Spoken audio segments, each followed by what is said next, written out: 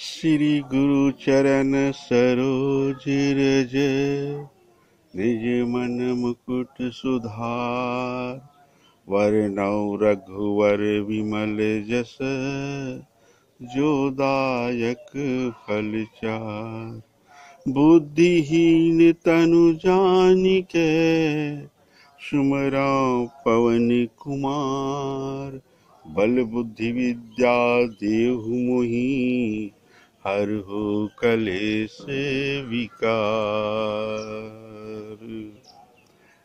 मेरे चैनल को आप ज़रूर सब्सक्राइब करें ताकि मैं आगे बढ़ सकूँ और आप लोगों को कुछ गीत के माध्यम से, कुछ मोटिवेशन के माध्यम से कह सकूँ। तो आती है प्रसंग, चिंता से चतुराई घटे और दुख से घटे शरीर। पाप से लक्ष्मी घटे, कह गए संत कबीर।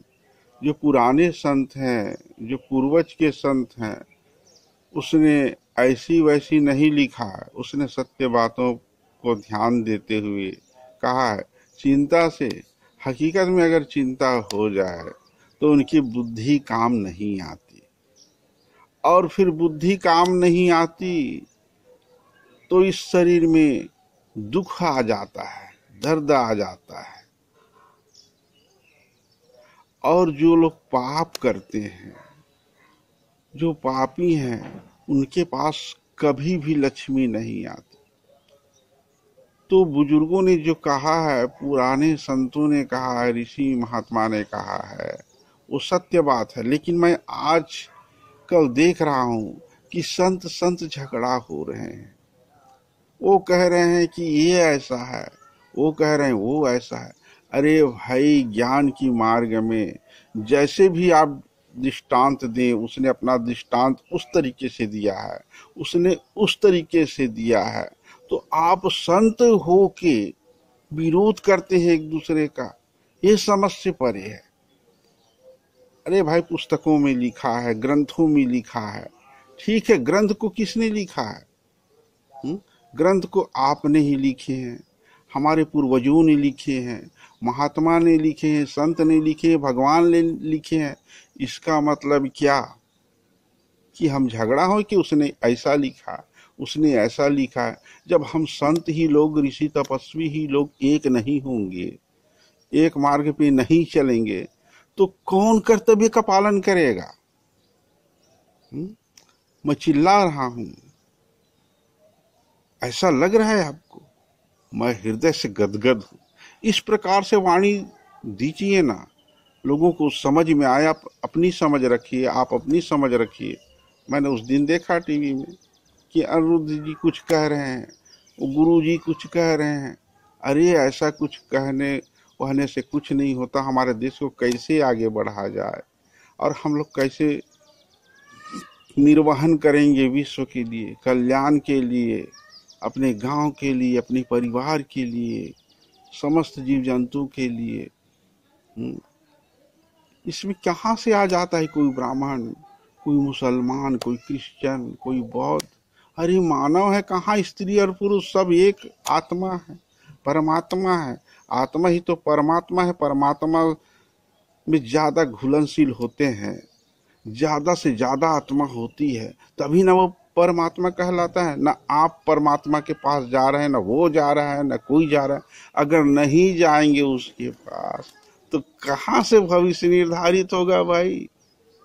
अभी इतना आपाधापी मचा हुआ है, प्रदूषण फैला हुआ है। इसको कैसे शांत करोगे? प्रदूषण को हटाना पड़ेगा। वृक्ष लगाना पड़ेगा, जलवायु परिवर्तन करना पड़ेगा। नहीं तो हम मानव का क्या है? कितने दिन रहेंगे अशुद्ध हवा में? ऑक्सीजन को बढ़ाना पड़ेगा ना। हमारी सरकार लगी हुई है, हमारे संत लोग लगे हुए हैं तो एक दो संत को लगे रहने में क्या आपत्ति है?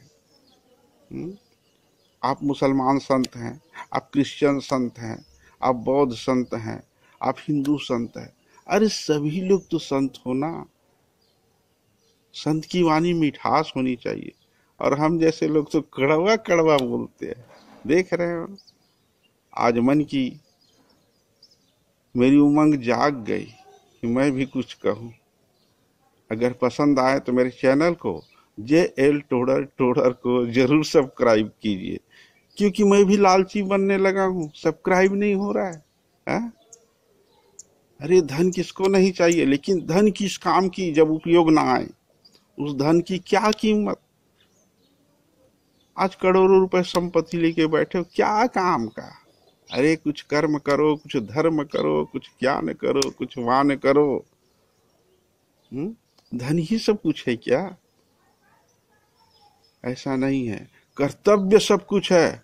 हमें कर्तव्य का निर्वहन करना चाहिए। हम लोग मांगते हैं सरकार से, ये चाहिए, वो चाहिए। क्या देते हैं आप? ये देखिए। लेकिन धन के अलावा भी हम बहुत कुछ दे सकते हैं। बहुत कुछ दे सकते हैं भाई। कोई ज्ञान दे सकता है, कोई स्कूल में पढ़ा सकता है, कोई वैज्ञानिक बन सकता है।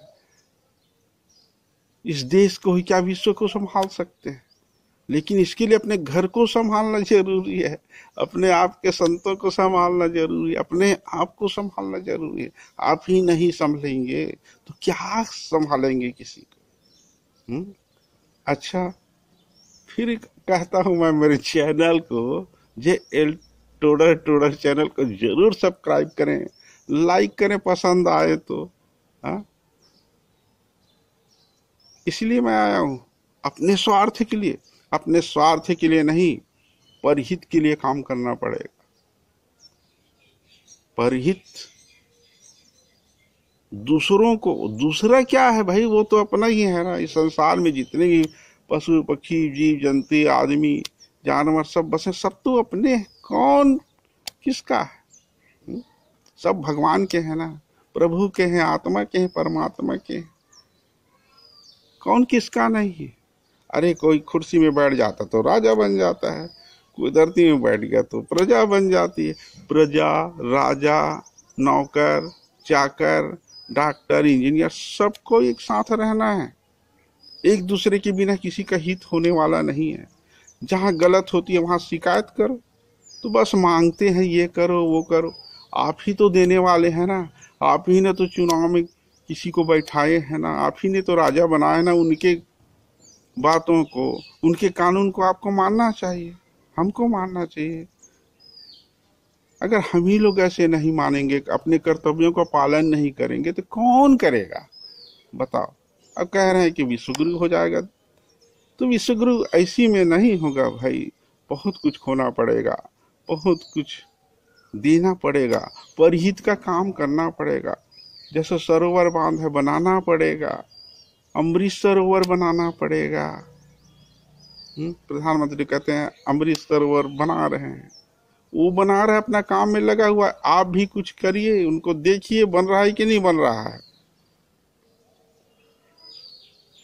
तो आप भी सहभागी हैं उस राजा के साथ जिसको आपने चुने हैं और आप ही लोग विरोध करते हैं। दीजिए दीजिए। अरे भाई आप देखिए तो देखिए अपने कर्तव्य को तो निभाएँ। हम्म, भ्रष्टाचारी मष्टाचारी सब चला जाएगा। अरे धन का क्या है? धन आता है, समझाइए धन। रहने से क्या होगा? कुछ दिन चलेगा, जीवित रहोगे तो करोगे कुछ। और मरने के बाद क्या काम आएगा? खा खाएगी धन। तुम्हारा नाम रह जाएगा। नाम और तुम्हारी वाणी रह जाएगा इस संसार में, उस वाणी को रखने के लिए। परहित का काम करना पड़ेगा, अपने कर्तव्य को निभाना पड़ेगा। तो जय भारत, जय हिंद, जय हिंदुस्तान। मेरी भारत माता को प्रणाम।